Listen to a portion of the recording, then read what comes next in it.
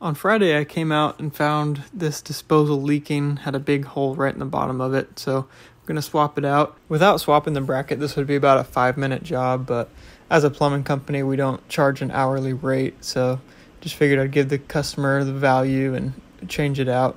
Most major brands are going to accept this new universal bracket from InSinkErator, unless you're using a Waste King, and uh, I don't know what part of the country Waste King is still popular but uh, I would not want to live there. So if Waste King is your favorite garbage disposal brand, you probably like Sears and Roebuck and Blockbuster. The instructions aren't going to tell you about this bit, but I like to put that rubber gasket behind the tailpiece on the Black 90 and uh, just find it creates a better seal.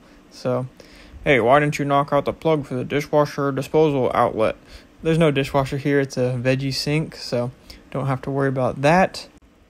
Gonna test everything out real good, and then I'm gonna take my wife out to Golden Corral.